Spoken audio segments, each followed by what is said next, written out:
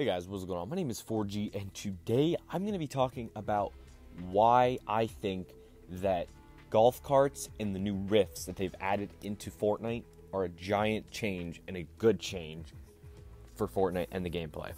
So basically, I think that this is a huge help for places on the outsides of the map, kind of like Snobby Shores, uh, now Paradise Palms, uh, which is where Moisty Mire used to be, obviously, um, and other places like that I can't exactly think of it. Like I would think of maybe Flush Factory, but I'm not sure if that has a golf cart uh, spawn because I have not been there since season five started.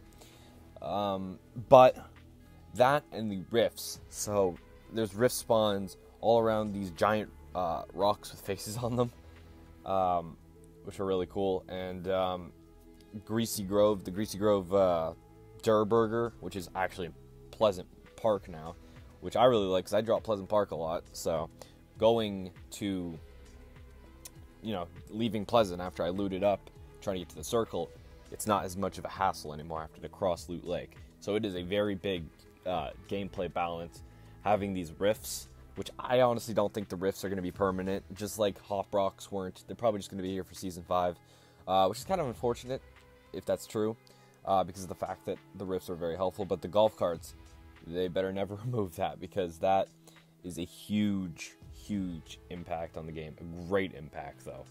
Uh, it really does balance the game because, for an example, I could go to Snobby Shores now. I could loot up, and even if the storm or the circle, sorry, uh, is far away, I could still get out of there with a golf cart with uh, you know my squad and get out of there and actually make it to the circle in time. Uh, so it allows you to go to other places on the map without having to worry about the circle as much but yet the game is still being progressively sped up because you're still going to the circle. So it doesn't slow down the gameplay at all.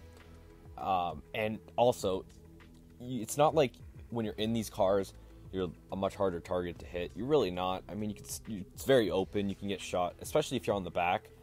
So it's really not anything that changes up the way that the gameplay feels in the sense of uh, shooting mechanics and everything.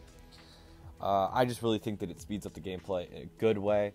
Uh, I'm curious on how Blitz will work with this once they bring back Blitz, or if they ever bring back Blitz. I hope they do, because that's honestly one of my favorite LTMs, other than Playground mode, but that's going to be a permanent mode soon, hopefully, uh, because I can't make any more time lapse videos uh, that I have made uh, of time lapse buildings. Can't make that without Playground mode, so that series is going to be on hold until they bring it back, just so you guys know. Anyways.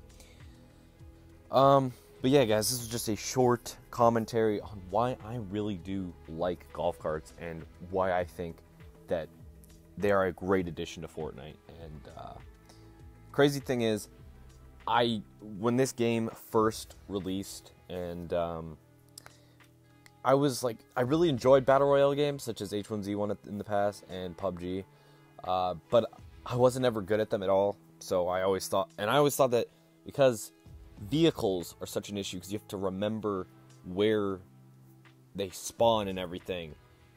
Like in H1Z1, for an example, you got to remember where they spawn. I'm not exactly sure about PUBG if that's random or not because I don't play PUBG as much as I played H1Z1 in the past. Um, but I know, for an example, in H1Z1, the cop cars and everything, they had you have to remember where they spawn and everything. And I guess it's kind of like that in Fortnite. So maybe I was just bad at battle royale games, but I completely changed my mind about how uh, vehicles work as long as they're not too fast, uh, which in this case the golf carts aren't, and they have a skill uh, place in it with uh, you can increase your speed based off of drifting, uh, which is really cool. Uh, so I really like that, and yeah.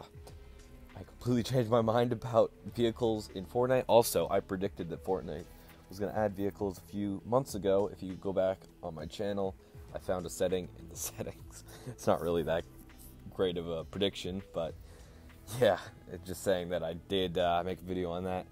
So uh, I, I thought it was just going to be the shopping carts once shopping carts were added. I didn't think it would be anything more than that, but you know, Epic Games is always surprising us. And uh, in this case, it's a very good surprise. So uh, thank you guys so much for watching. And thank you, Epic Games, for adding such a great thing into Fortnite. And uh, continuing to make your game great. So uh, yeah, thank you guys so much for watching. If you guys enjoyed this commentary, click that like button down below as it really does help me out a ton. And uh, subscribe for more awesome videos. Uh, not every day. As you can tell, I took a two day break. But um, a good majority of the time, I'm going to start making a schedule, I think, very soon. Uh, so that I can uh, get on track and everything. So, you guys, I guess so much for watching. See you guys later.